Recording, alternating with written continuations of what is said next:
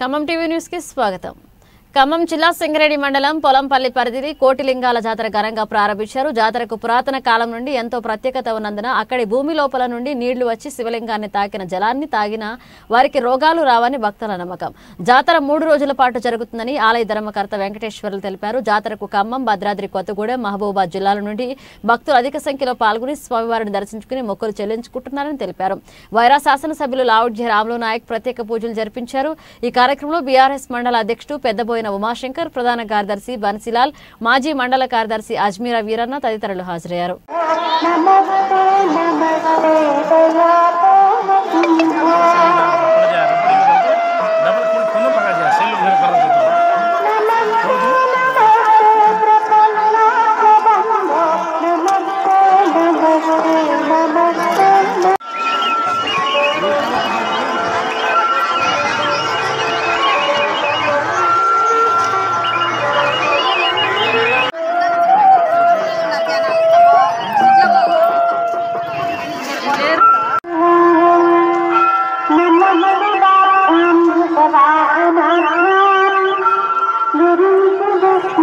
Thank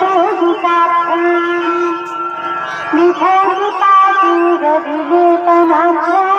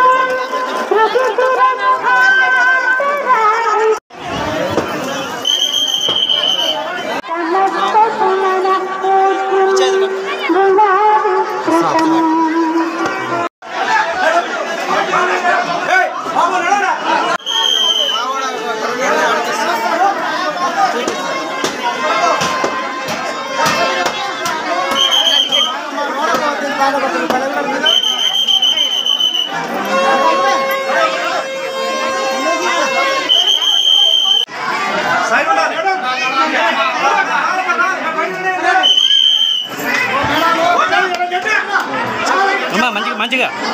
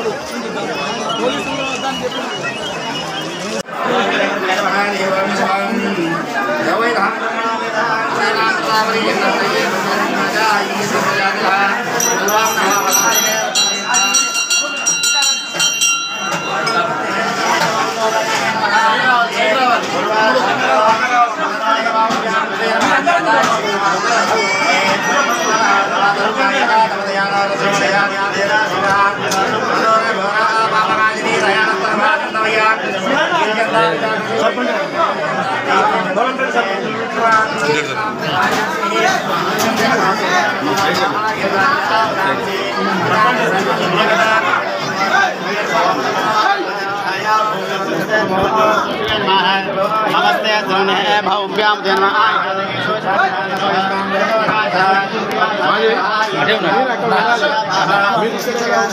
అనే గారు మీరు అక్కడికి వెళ్ళండి అక్కడికి వెళ్ళండి అ- అటు వెళ్ళండి అన్న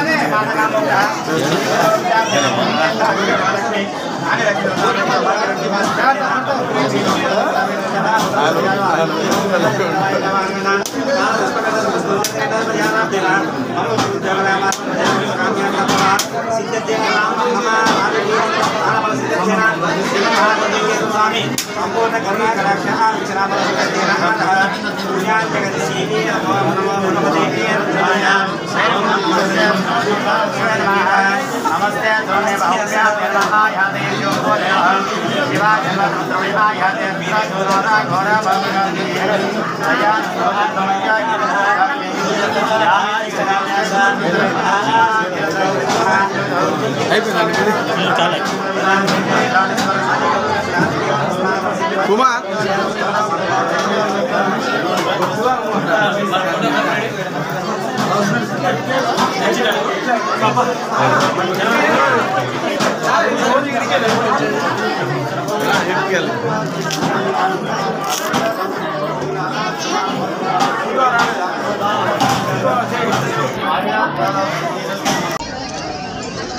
యావత్ భారత భూమి యావత్ భారత ఖండం కూడా ఖమ్మం టీవీ మరి ప్రకృతికి మారుపేరైన మరి మన శివుడు. ఆయన వేరు వేరు ప్రాంతాల వేరు వేరు పేర్లతో వెలసి ఉండి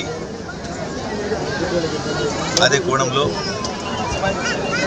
వైరా నియోజకవర్గంలో సింగిరేణి మండలంలోని కోలంపల్లి గ్రామ పంచాయతీ లిమిట్స్లో మరి ఇక్కడ కోటిలింగాలలో మరి స్వయంభూగా వెలిసి ఉన్న మరి సబ్బులింగేశ్వర స్వామి దేవాలయం ఇక్కడ ఉన్నది. ఇది గత కొన్ని తరాలుగా ఆదివాసీల మరి ఇష్టదైవంగా మరి పూజింపబడుతూ తదనుగుణంగా అన్ని కులాల వారు అన్ని మతాల వారు వచ్చేసి ఇక్కడ మరి స్వామిపై ఉన్న నమ్మకంతోనేసి అందరూ భక్తులు వచ్చేసి తమ తమ కోరికలను చెప్పుకుంటూ నెరవేర్చుకుంటూ తద్వారా స్వామివారి యొక్క ఆశీర్వాదాన్ని గుర్తుకొని ఉంటారు. చూస్తూ ఉన్నాం. ఈరోజు చూడండి ఎక్కడ వేసినా కూడా ఇసుక వేసినా కూడా రాళ్ళంత పరిస్థితుల్లో మరి ఈరోజు మారుమూల ప్రాంతంలో కూడా మరి సౌకర్యం అరకొరగా కూడా ఉంది. ఎమ్మెల్యేగా నేనే మాట్లాడుతున్నాను. అరకొరగా ఉంది. మరి భవిష్యత్తులో దే- మరి ఈ యొక్క ఆలయాన్ని ఎండోమెంట్ పరిధిలో తీసుకెళ్ళేసి మరి మరి భక్తులకు కావాల్సిన అను అను అనుకూలమైన రీతిలో మరి దాన్ని మౌలిక సదుపాయాలు కలిగే రీతిలో మరి వచ్చే సీజన్ కల్లా కంప్లీట్ చేద్దాం. గౌరవ ముఖ్యమంత్రి కేసీఆర్ గారు మరి ఇటువంటి కార్యక్రమాలకి అయితే చాలా ముందుంటారు. ఇప్పటికీ మన తెలంగాణలో చాలా మరి యాదాద్రి లాంటి దేవాలయాలు కూడా నిర్మించుకొని ఈరోజు భక్తులకందరికీ కూడా మరి అటు ఆంధ్ర ప్రాంతం తిరుపతి అయితే మన దగ్గర యాదాద్రిగా మనం ఏర్పాటు చేసుకున్నాం అటువంటి సందర్భంలో ఇక్కడ గుడి ఉన్నది మనం నేను కూడా గత పది పదిహేను సంవత్సరాలుగా వస్తూ ఉన్నాను. మరి అన్నీ చూస్తూ ఉన్నాను. వాస్తవం ఏమంటే ఇక్కడ ముందుగా ఆదివాసీలతో స్టార్ట్ అయిన ఈ యొక్క ఆలయం చరిత్ర చెప్తా ఉంది. అన్ని వర్గాల వారు దిమ్మతాల వారు కులాల వారు అన్ని ప్రాంతాల వారు వచ్చేసి ఇక్కడ మొక్కులు చెల్లించుకుంటూ పోతా ఉంటే చాలా అద్భుతంగా ఉంది. ఏది ఏమైనా మరి ఈరోజు మహాశివరాత్రి సందర్భంగా మరి నా నియోజకవర్గం తరఫున నియోజకవర్గ ప్రజలందరికీ కూడా మరి నేను మహాశివరాత్రి సందర్భంగా శుభాకాంక్షలు తెలియజేసుకుంటూ స్వామివారి ఆశీస్సులు వారికి పుష్కలంగా ఉండాలని చెప్పి కోరుకుంటూ అదేవిధంగా మా గౌరవ ముఖ్యమంత్రి కేసీఆర్ గారికి కూడా స్వామివారి ఆశీస్సులు పుష్కలంగా ఉండాలి వారు ఆరు ఆయురారోగ్యంగా ఉండాలి భవిష్యత్తులో వారు తెలంగాణకే కాకుండా భారతదేశానికి కూడా దర్శకత్వం వహించి మరి భవిష్యత్తులో ఈ